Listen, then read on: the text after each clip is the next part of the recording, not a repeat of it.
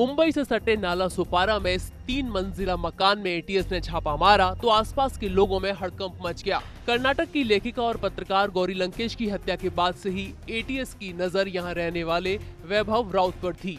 वैभव राउत के इसी घर से जो है वो एटीएस ने जो है वो बम बनाने का सामान बरामद किया था और उसको सीज किया है। आप देख सकते हैं यही घर है नाला सुपारा का। वैभव राउत हिंदू जन जागरण समिति से जुड़ा है। एटीएस के सेक्शन पर आसपास के लोग हैरान हैं।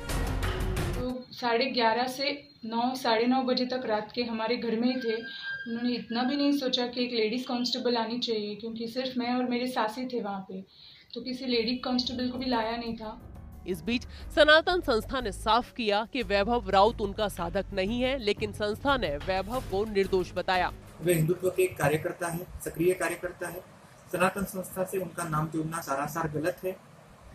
वैभव राउत जी के विषय में ये बताया जा सकता है कि आज किस प्रकार से मालेगांव प्रकरण में हमने देखा है कि कि कोई भी पूरा सबूत न होने के बावजूद जो है एटीएस के लोगों ने जाके हिंदुत्वनिष्ठों के घर में आरडीएक्स रखे थे। उसी प्रकार का जो माहौल हम लोगों को लग रहा है कि वैभव राउत को भी उसी प्रकार से बलि का बकरा बनाया गया होगा।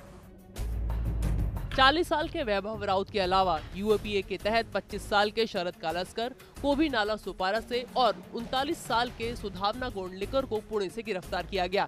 इन सभी को कोर्ट में पेश किया गया, जहाँ अभियोजन पक्ष ने दावा किया कि एटीएस को खुफिया जानकारी मिली है। वो ये कि ये लोग मुंबई, पुणे, नाला सुपारा, सतारा और सोलापुर में किसी बड़ी आतंकी गतिविधि को अंजाम देने वाले थे। इनके पास से भारी मात्रा में बम बनाने का सामान भी मिला है। राउत के अलावा दोनों आरोपियों ने एटीएस की तरफ़ से प्रताड़ना दिए जाने की शिकायत की, जिसके बाद आरोपियों को कोर्ट ने मेडिकल चेकअप के लिए भेज दिया।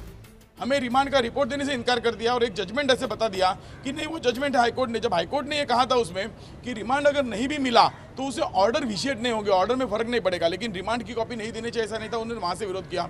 अगर तीन तीस को एफआईआर हुआ है तो यहाँ कोर्ट में पाँच तीस बजे कैसे लेके आए? उसके पहले ही अरेस्ट हुआ, उसके उसके बाद में अरेस्ट हुआ, ऐसा वो कह रहे हैं। उसके बाद में मेडिकल भी हुई रिमांड रिपोर्ट भी बना। और आज भी वो ये चालाकी कर रहे थे कि अंबेडकर हॉस्पिटल जो विक्रोली में जो छोटा सा हॉस्पिटल है, जाके डॉक्टर को धमकाया, मारा जा सकता है, वहाँ से वो लेना चाहते, जेजे से नहीं लेना चाहते थे।